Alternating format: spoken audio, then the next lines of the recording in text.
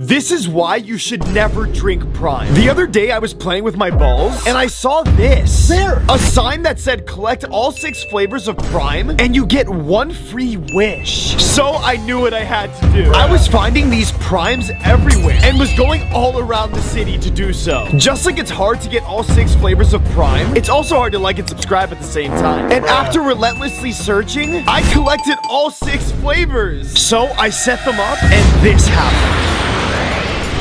Congratulations on collecting all six flavors of Prime. The only way I'll give you a wish is if everyone watching likes and subscribes. Like and subscribe!